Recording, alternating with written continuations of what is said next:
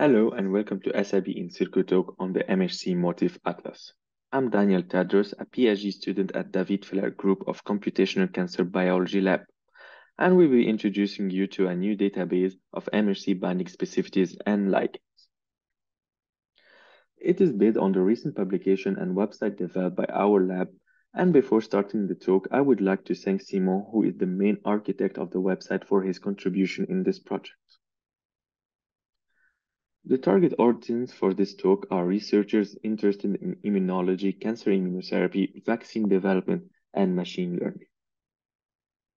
First, I would like to introduce you to the main step of the interaction between infected and T cells. The T cell activation is governed by two main steps. The antigen presentation pathway, where the protein gets degraded uh, by the proteasome into peptide. This peptide get then transported into the ER via TAP, which some of them bind to the MHC molecules, which is the most selective step in this process.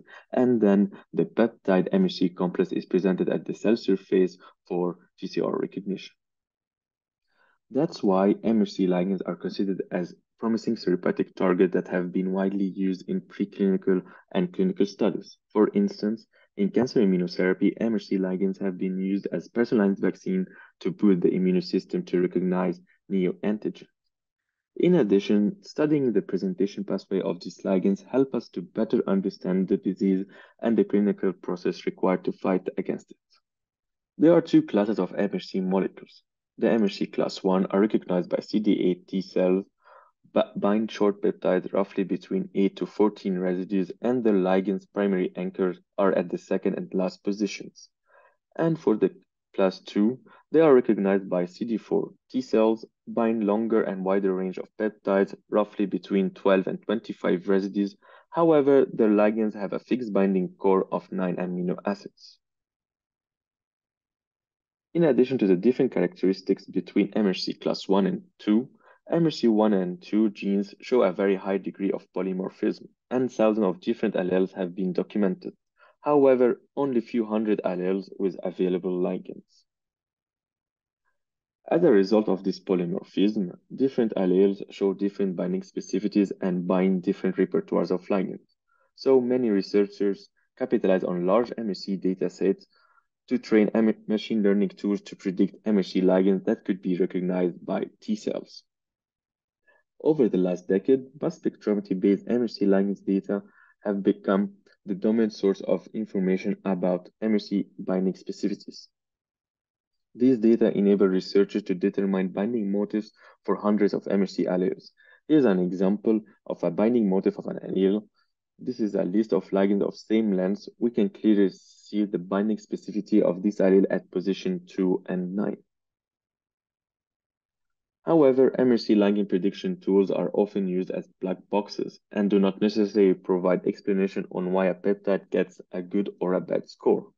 So to facilitate the understanding of the main binding properties of MHC molecules, we present here the MHC Motif Atlas for an intuitive visualization of MHC binding properties and a way to interpret the MHC ligand predictors results. Here's an example of the binding specificity of an MHC class 1 allele. We provide a binding motif for each peptide length separately. As we can see, there is a high similarity in the binding anchors between different lengths. We also provide the peptide length distribution of the allele, and we can see there is a high preference of peptide of length 9. Also, when it's available, we provide different binding mode of the allele we can see, for example, the arginine can only be in position 3 or 6, but not in both positions at the same time. And finally, the motif of the phosphorylated ligands when it's available presented in purple. Similarly, for MHC class 2, as previously mentioned, MHC2 alleles bind to long peptide but with fixed binding core of 9 acids. We also provide the peptide length distribution for the allele, and we can see there's a high preference of peptide with length 15. And when it's available, we provide different binding mode for the allele. We can see, for example, the arginine and lysine can only bind in position 4 or 6, but not in both positions at the same time as it's shown in the first motif.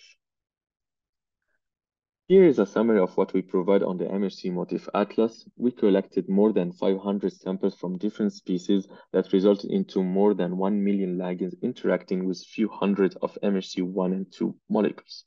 We provide thousands of predicted MHC binding motifs based on our MHC motif predictors of class 1 and class 2. We also provide direct links to MHC X-ray structures and list of MHC sequence available in our database. So now let's have a look of the web interface of our Motif Atlas.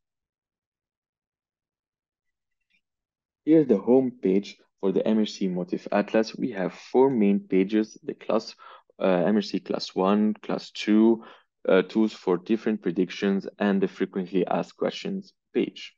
So let's explore class 1. As you can see here, you can explore different binding motif for different lengths, for example, also for multiple specificities, phosphorylated ligands, and you can download a list of the unmodified ligands or phosphorylated ligands for this specific allele. We, you can also check uh, direct links for the PDB structures for this allele with different ligands. What's also interesting in this page is that you can parallelly compare different alleles at the same time, which is really interesting to uh, in our exploration of the binding specificity for different alleles. And here you can also download all the available data for class 1 from unmodified to phosphorylated ligands, both of them, MHC sequence and the X-ray structures. Now let's go for class 2 alleles. Similarly, as class 1, you can see the multiple specificities. You can you can also compare between different alleles at the same at the same time. But in addition, we provide an extra page for common properties between class 2 alleles that can help you to better understand the binding specificity for class 2 alleles. As for the tools page, uh, we provide direct links for different predictors, for example, MRC ligand predictors for class 1 and class 2, immunogenicity predictors, MRC motif deconvolution tools, and the, the uh, direct links for the MRC ligand databases. So to have more clarification, you can also check the frequency asked question. With that, I want to conclude this talk by first thanking David for this exciting project and Simon and Julien for all their effort and contribution in this project and you for taking the time to watch this video.